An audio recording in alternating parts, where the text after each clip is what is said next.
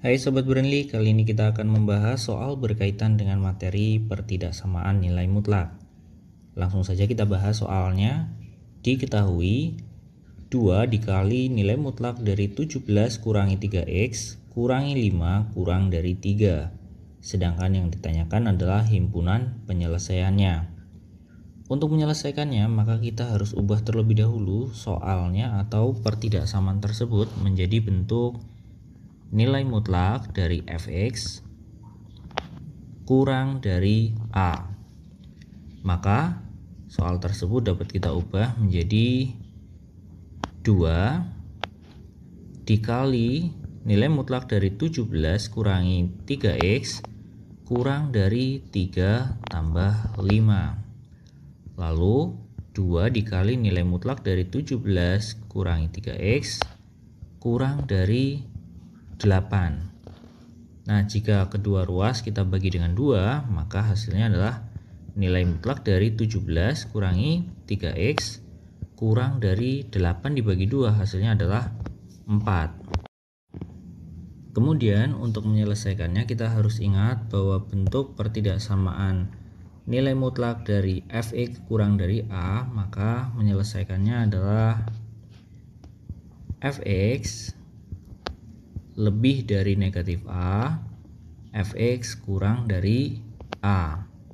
Nah sehingga untuk nilai mutlak dari 17 kurangi 3x kurang dari 4 menjadi 17 kurangi 3x lebih dari negatif 4 kurang dari 4 kemudian semua ruas kita kurangkan dengan 17 maka menjadi negatif 4 kurangi 17 lalu 17 kurangi 17 kurangi 3x sedangkan yang paling kanan adalah 4 dikurangi 17 hasilnya adalah untuk yang paling kiri adalah negatif 21 kemudian 17 kurangi 17 kurangi 3x hasilnya adalah negatif 3x dan yang paling kanan 4 dikurangi 17 hasilnya adalah negatif 13 kemudian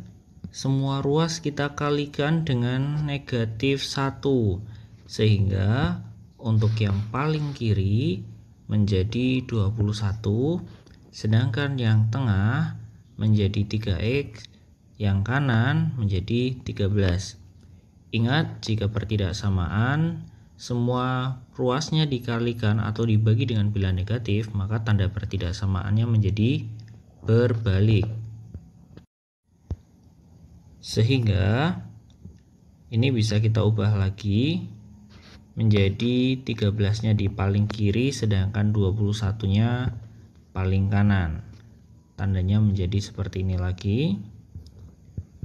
Lalu kita bagi semua ruas dengan 3 maka yang paling kiri menjadi 13 per 3 sedangkan yang tengah 3x dibagi 3 hasilnya adalah x sedangkan yang paling kanan 21 dibagi 3 hasilnya adalah 7 untuk 13 per 3 kita dapat mengubahnya ke dalam bentuk pecahan campuran menjadi 4 1 per 3 yang lain tetap. Kemudian yang ditanyakan tadi adalah himpunan penyelesaiannya. Jadi dapat kita simpulkan bahwa HP atau himpunan penyelesaiannya yaitu X. Sedemikian hingga X lebih dari 41 per 3 X kurang dari 7 Demikian pembahasan kita kali ini. Selamat belajar Sobat Brandly. Salam edukasi